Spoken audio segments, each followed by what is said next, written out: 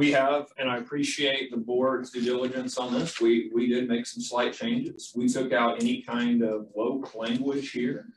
Our emphasis is to equip students to be ready for the workforce, not be social justice warriors. So this is an agency where woke will go to die. We are going to focus on standards. We're going to make sure that our students are workforce ready because there's nothing more you can do for a child to give them critical thinking skills and give them the ability to be successful in the workforce. So